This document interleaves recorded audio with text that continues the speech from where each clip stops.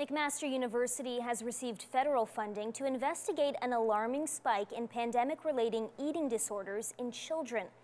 Pediatric expert Jennifer Couturier will receive a few hundred thousand dollars for the project as part of a $13 million federal funding investment into pandemic research. Couturier is the director of the Eating Disorders program at McMaster that helps more than 200 kids. She says throughout the pandemic, the country has seen eating disorder referrals double and hospitalizations triple.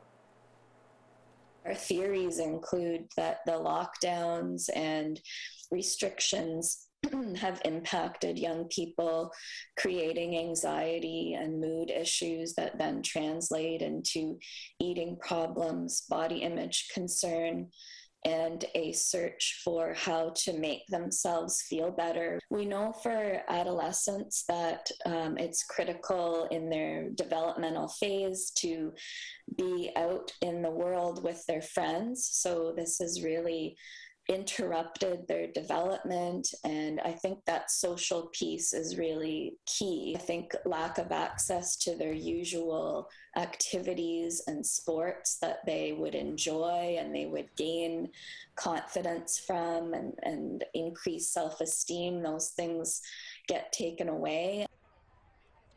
Couturier says some red flags to look for in the child social isolation, talking about body image, and an extreme change in dietary patterns. She says to call your family doctor if you believe there is a problem.